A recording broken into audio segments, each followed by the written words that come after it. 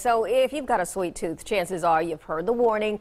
Don't eat that raw cookie dough unless you want uh, to get salmonella poisoning, and No nobody wants wants that, that. right? No, but now you can eat all the raw cookie dough you want safely.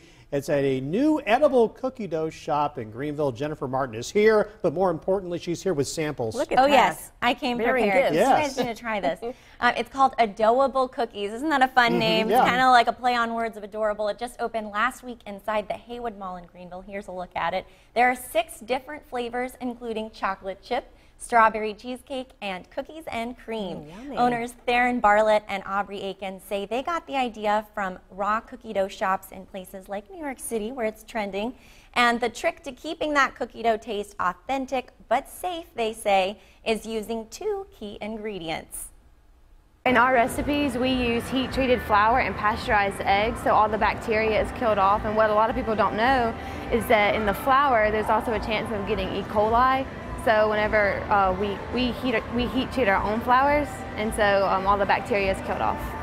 So that's kind of some information you might not have known about cookie Exactly. dough. Owners say their cookie dough can be stored for three days in the refrigerator or up to six months in the freezer, and you can also bake it. Each container makes about eight small cookies and costs mm-hmm. five dollars and fifty cents each. That is a win all the way. I know, yeah. So you can eat it there, you can hmm. take it home. So I've got three different flavors. This is Okay. Chocolate. this is chocolate chip. This is cookies and cream. And Okay, this oh, is cookies s'mores. and cream. Which one? go for that Oh, one? yeah, yeah, yeah, yeah, yeah. I didn't waste any time right. jumping on that one. I've had um, the I'll just the strawberry regular. cheesecake before. I had that yesterday, and it was so incredible how they were able to get not just the cookie dough taste, but the different flavors. So, what do you think, Fred? Mm.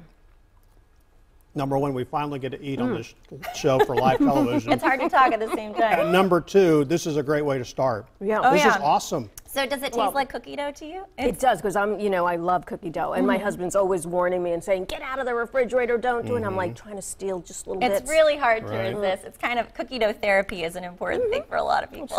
I, I, I'm going to be in therapy for the rest of the. Well, we got another two and a half hours to go.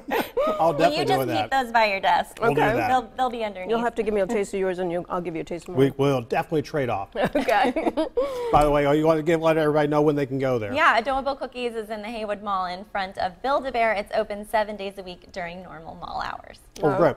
Jennifer, now I thanks have, for coming in. Yeah, of course. now, now I have to read.